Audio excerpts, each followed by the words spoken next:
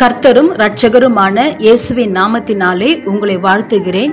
இன்று நாம் தியானிக்க போகும் வேத வசனம் பிலிப்பியர் மூன்றாம் அதிகாரம் பனிரெண்டாம் வசனம்.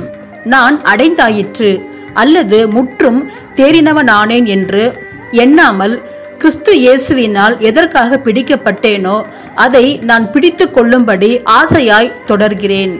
கர்த்தர் கொடுத்திருந்த நியாய பிரமாணத்திற்குரிய நீதியின்படி குற்றம் சாட்டப்படாதவன் என்று தன்னை குறித்து சொல்லுகிற பவுல் தான் இன்னும் கற்றுக்கொள்ள வேண்டிய காரியங்கள் இருக்கிறது என்று சொல்லுகிறார்.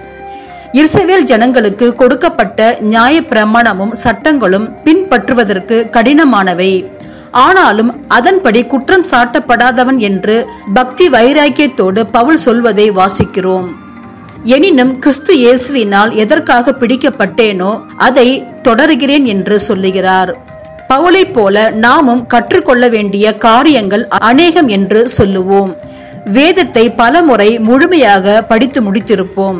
ஆனாலும் வாசிக்கும் போதெல்லாம் கர்த்தர் புதிய காரியங்களை அதன் மூலமாக கற்றுத்தருகிறார். ஒவ்வொரு முறை படிக்கும் போதும் தேவ ஆவியானவர் நமக்குள் கிரியை செய்வதை நம்மால் உணர முடியும். எனவே நாம் முழு வேதமும் கற்றுவிட்டோம் என எண்ணாமல் அதற்குள் நிலைத்திருக்க வேண்டும். அப்படி நிலைத்திருந்து கர்த்தர் அழைத்த அழைப்பிற்கு உண்மையுள்ளவர்களாய் இருந்து தினமும் அதை ஆசையாய் தொடர வேண்டும்.